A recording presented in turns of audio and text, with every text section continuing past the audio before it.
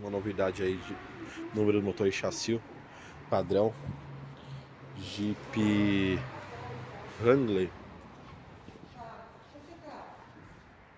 Gasolina.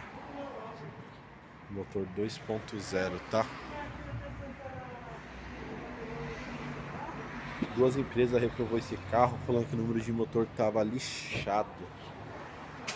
Eu acho que na verdade pensaram que o motor era que nem do Troller, né? A diesel, que geralmente é aqui embaixo. Mas vamos lá.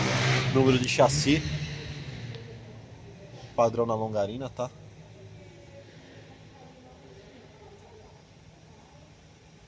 Aqui número de chassi. Número de motor. Pensaram que era ali, ó. Aquela base lixada ali, ó. Na verdade tá ali lixada. Deve ser alguma gravação da, da montadora.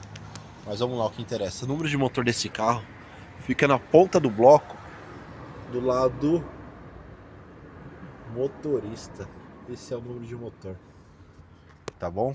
Então, Huller 2019, padrão de motor, lado motorista, ponta do bloco, lado esquerdo. Aqui. Beleza?